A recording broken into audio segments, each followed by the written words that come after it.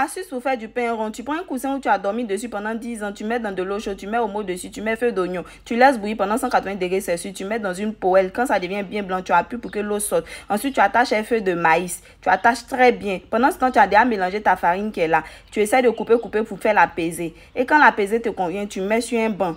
Tu t'arranges à ce que toute la farine finisse dans ta poêle. Voilà. C'est ça même. Ensuite, tu aplatis bien tu aplatis bien, tu prends une tasse, tu coupes en rondelles, tu déposes. Et puis tu laves ton chiffon, tu mets dans ton canari bien. Pendant ce temps, il y a le jus de euh, coussin là qui est là-bas. Et puis tu viens déposer ça sur ton pain en rondelles.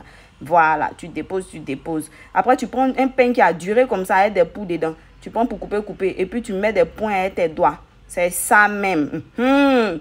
Tu prends ton coussin là, tu mouilles. Et puis tu mets tes farines là tu mets dessus, puis tu t'en collé dans ton canari que tu as fait cuire à la vapeur. Tu colles, tu colles, tu colles. Tu colles très bien. Quand tu finis de coller tout, tu mets du feu sous ton canari. Tu laisses cuire à la vapeur ton jus de coussin. Waouh, c'est bien brûlé, mais c'est trop croustillant. Le pain est croustillant.